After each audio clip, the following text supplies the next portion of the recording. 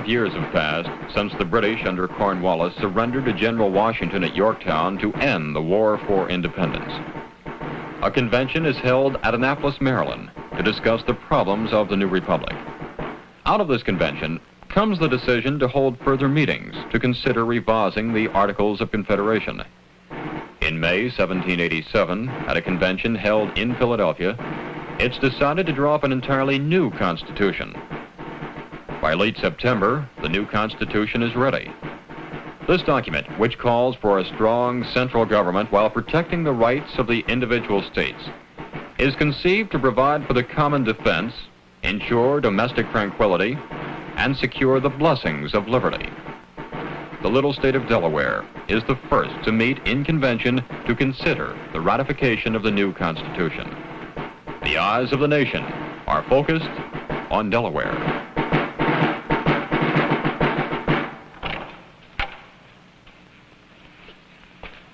Well, Bob, there'll be plenty for you to write about today. I'm wondering, Mr. Latimer, what will happen. Do you think, sir, that they will ratify today? Bob, so few of us ever really know when we're on the brink of a great historical event.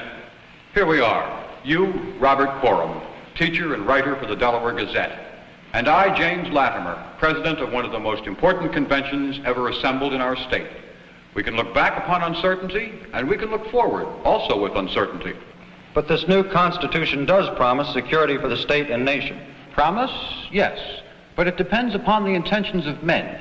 A great deal has been written about this Constitution, for and against it. Do you have any doubts, Mr. Latimer, about the outcome of today's meeting? Not really. George Read has seen to it that we have the votes necessary for ratification, but it must be unanimous if we are to impress the nation. Unanimous? Did you ever see the three counties agree unanimously on anything? I'm depending a great deal on the influence of George Read of Newcastle. George Read, sir, may have organized the votes in this convention, but he hasn't even made an appearance here. Neither is John Dickinson. But would you say that Dickinson's work has all been for nothing? He is the one we really have to thank for the way things stand today. I was thinking just today of how he had presided over the convention in Annapolis, and how he could have insisted upon shoring up the Articles of Confederation, which he practically wrote himself. Will this new Constitution guarantee us freedom of the press, religion, the right of assembly, and all the other rights for which we fought the war? We have those rights assured us in our state constitution, but I feel sure that eventually amendments to the federal constitution will restate our great freedoms. I would like to have seen compulsory public education in the new Constitution. Patience, Coram. You teachers and writers can be so impatient.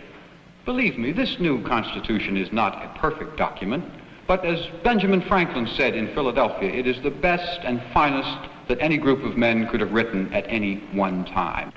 This is the rock on which our federal nation will be built, and with God's help, it will survive the storms that are ahead of us.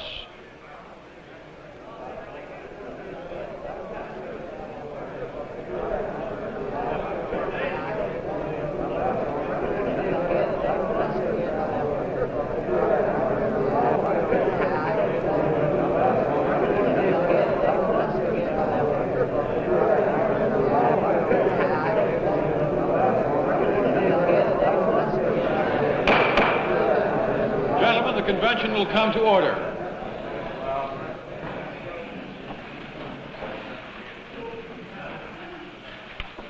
Fellow Delawareans, we are gathered here for the final meeting of our four-day convention. But before we enter on to the momentous business in front of us, I feel we should ask the guidance of Almighty God. Will the Reverend Chaplain lead us in prayer?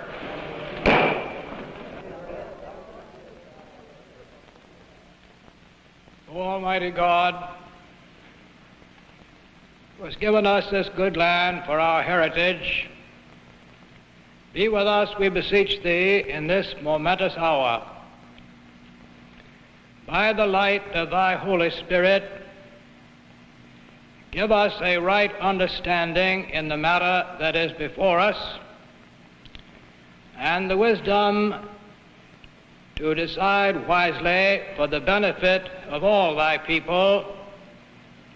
And to thee be the praise, the glory, and the might, now and forever.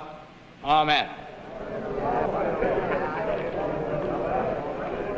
Gentlemen, we are assembled here from all parts of the state. There are many of us who have not always seen eye to eye on the great problems of our nation and state. But despite our differences, we are united in one great hope that we will survive and develop as a state and a nation. Before we enter into the final business of the convention, it is proper that we hear from His Excellency, the President of the Delaware State. I will ask Colonel Allen McLane and Mr. Richard Bassett to escort His Excellency to the rostrum.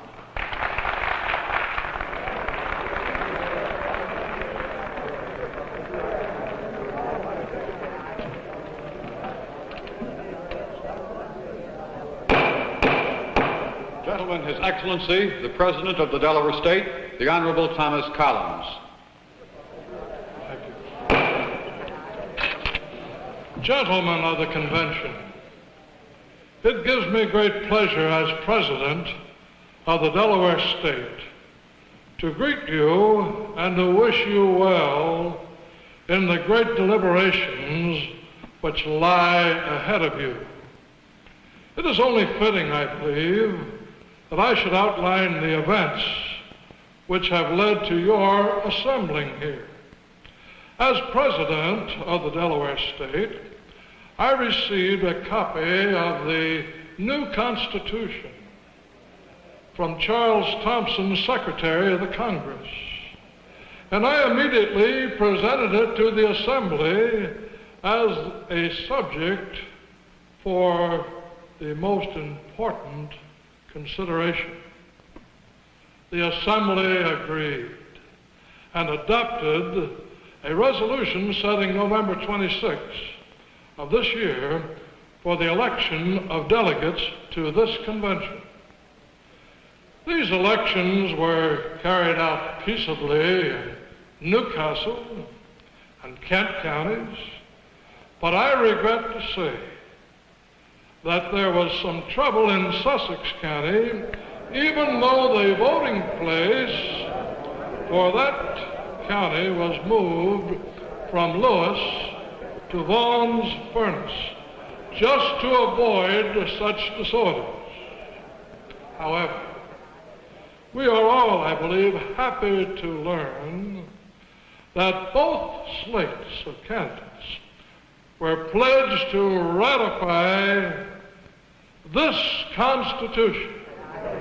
I think that you are all agreed on the need for a new Constitution which will establish a more perfect union, provide for the common welfare, and promote domestic tranquility. I believe that the Constitution which Mr. Dickinson, Mr. Read, Mr. Bassett, Mr. Bedford, and Mr. Broom did so much to cause to take its present form will give the answers to those problems and will provide the basis upon which we can build a strong, united, and at the same time superlatively free nation. This, this Constitution will become the basis of government of all the 13 states as soon as nine of the states shall have ratified it. If this convention should reject this Constitution or adjourn without acting upon it, we may still become a part of that government, but in a way which would reflect on the honor of our little state. We must show our complete confidence in the five delegates to the Philadelphia Convention, who so ably defended our rights at every session of that convention. They are unanimous in believing that this final document is as nearly perfect as human mind can devise. Finally, I want to, impress on you that I personally feel that upon the ratification of this Constitution depends not only our prosperity and felicity, but our national existence as well. Gentlemen, the future of this state is in your hands.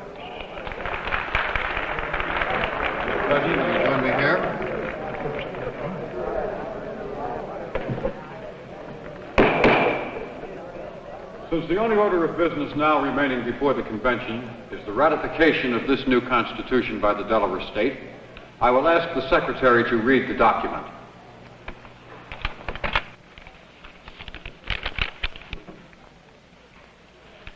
We, the people of the United States, in order to form a more perfect union, establish justice, ensure domestic tranquility, provide for the common defense, promote the general welfare, and secure the blessings of liberty to ourselves and our posterity, do ordain and establish this Constitution for the United States of America.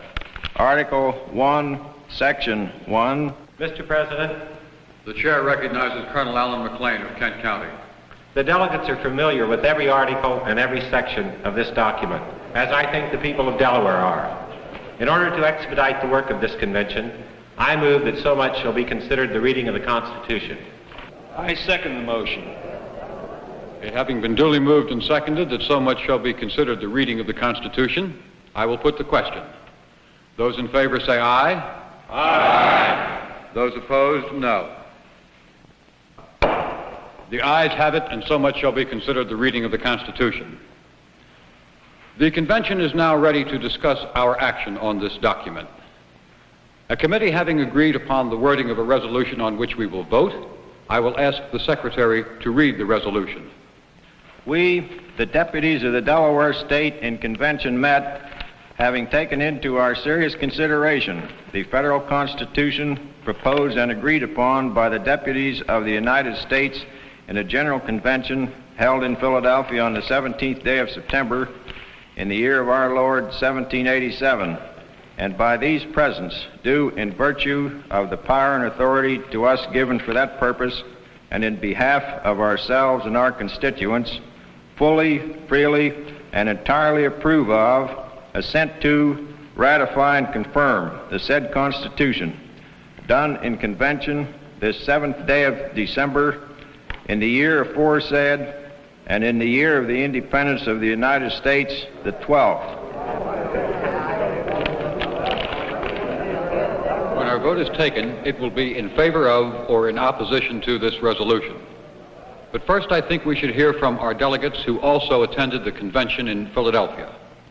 I will call upon the Honorable Richard Bassett of Kent County. Mr. President and gentlemen of this convention, I deem it a great honor to have been one of the deputies chosen to represent the Delaware State at the convention in Philadelphia. I do not think that any of the delegates here feel that this Constitution represents all that they hoped and wanted. But I do know that the vast majority are not only satisfied, but enthusiastic about it. Now, if all the states ratify, as I am sure they will, then we will have an entirely new government. We will have a strong executive to guide our destinies. And may I say here now that there is only one man who I feel now best qualified to fill that post General George Washington of Virginia. But he cannot become too strong. He will never be a despot because this Constitution sets up a series of checks and balances which will prevent either the executive, the legislative, or the judicial branch from ever dominating this government. Gentlemen, I say this to you in all sincerity that I believe that our deliberations in Philadelphia were directed by Almighty God. I believe that we, the delegates of the Delaware State, cannot do otherwise than to vote for ratification of that Constitution. And I strongly urge that such action be taken at once. Thank you, Mr. Bassett. Mr. President, times are extremely bad in Sussex County. Some 400 of our citizens have signed petition to have the state issue more paper money to help correct this situation. Under this Constitution, the states would lose their rights to issue money. I would like to ask Mr. Bassett if he thinks this is just and fair. Mr. President, the delegate from Sussex has touched on one of the basic needs for this Constitution. We must have one national currency in which we can have faith. Now we have 13 different kinds, some good, some very bad, and a continental currency which is a disgrace. Now this Constitution will provide the answer. With money we can depend on to be worth the same in Massachusetts and Georgia as in Delaware, we can look forward to building a strong national commerce in such a manner that everyone will benefit.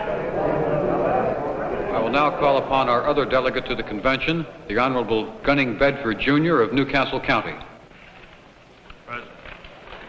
Gentlemen, as you all know, the Delaware delegation to the Philadelphia Convention went there with the specific instructions of the Assembly of this state that we should approve of no change in the Articles of Confederation, which provides that each state shall have an equal vote in the Congress. This Constitution provides for a bicameral legislature in which there shall be representation according to population in the lower house and equal representation in the upper and I believe much more important house. Now I feel that this compromise is acceptable to the people of Delaware as it was to your delegates in the convention. Furthermore, we were all convinced that a strong national government ought to be set up. And so we went along with the proposal that instead of merely revising the Articles of Confederation, the convention would draft a new constitution, establishing a strong national government with supreme legislative, executive, and judicial branches. We agreed not to secede if those changes which we opposed were discussed although we might do so if they were adopted. Mr. Dickinson was the one who first advanced the idea of the compromise which appears in this Constitution. He said in a debate that the accidental lucky division of this country into separate and distinct states gave it its best security for freedom in the future.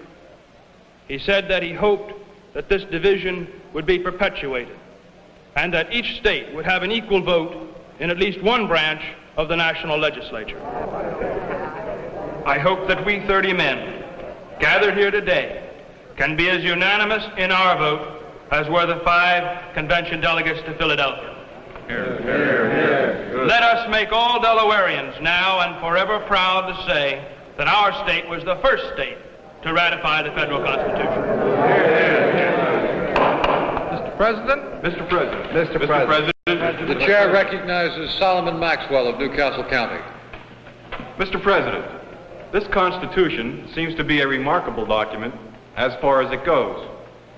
But I am a little disturbed by the fact that the distinguished delegate to the Philadelphia Convention, the Honorable George Mason of Virginia, refused to sign this document because where in it is there any provision for the freedom of press, of speech, of religion, and of assembly.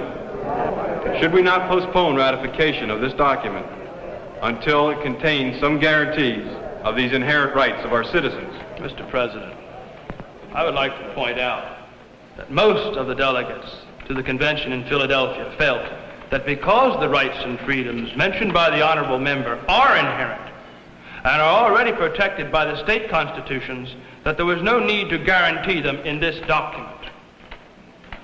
I would further point out, Mr. President, that this document is not a static, unchangeable, sacred one. I would call the members' attention to that section which provides for amendments. I'm confident that any serious omissions found by the various state conventions can be corrected by amendments, which will be among the first order of business in the new Congress. There's nothing in this document as it now stands that threatens any of our freedoms. What we need at this time is speedy action in setting up this new government. And then we can act on the necessary changes. What assurances do we have that such amendments will be proposed? I would suggest that we leave this up to our assembly, which can draw up any such changes that it will deem necessary and can present them to our representative and two senators to be offered in the first Congress With such an understanding, I will withdraw my objection. Mr. President, I have heard on good authority that in Philadelphia, Mr. Bedford said that this state would seek alliance with a foreign power before she would agree to a constitution that might make it possible for another state to annex her. Now, God forbid that any such attempt should ever be made, but I would like to know what foreign power Mr. Bedford had in mind. Mr. President, that remark was made in the heat of debate.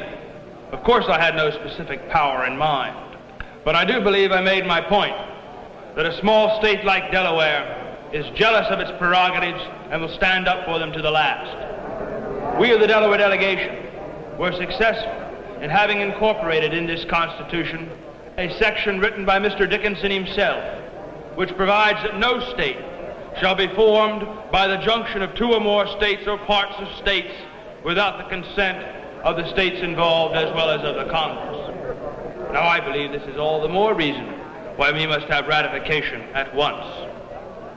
We need the kind of government that this Constitution will provide. And we in Delaware have the rare chance to obtain the distinction of being the first state to ratify it. Now, that is the whole question. Is there need for any further debate? I move the adoption of the resolution, and I ask for a roll call. I agree with Mr. Bedford, but it must never be said that debate was cut off in any session of a Delaware Assembly or in any convention in this state. Does any other member have anything to say? Mr. President, I second the motion asking for a roll call on the resolution. The Secretary will call the roll on the resolution to ratify.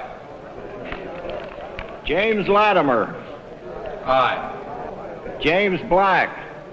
James Black votes aye. John James. Aye.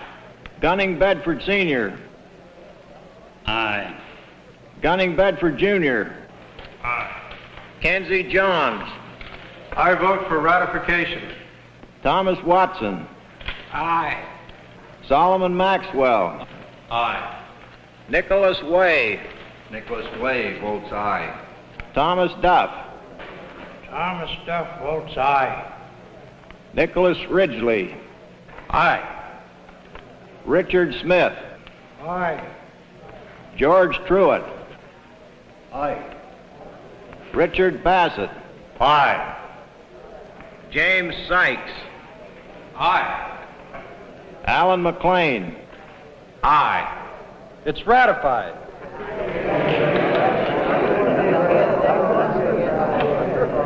Daniel Cummins. Aye. Joseph Barker. Aye. Edward White. Aye. George Manlove. Aye. John Ingram. John Ingram of Sussex votes aye. William Moore. Aye. William Hall. Aye. Thomas Laws. Aye. Isaac Cooper. Aye. Woodman Stockley. Aye. John Laws. Aye. Thomas Evans. Aye. Israel Holland. Votes aye. It's unanimous.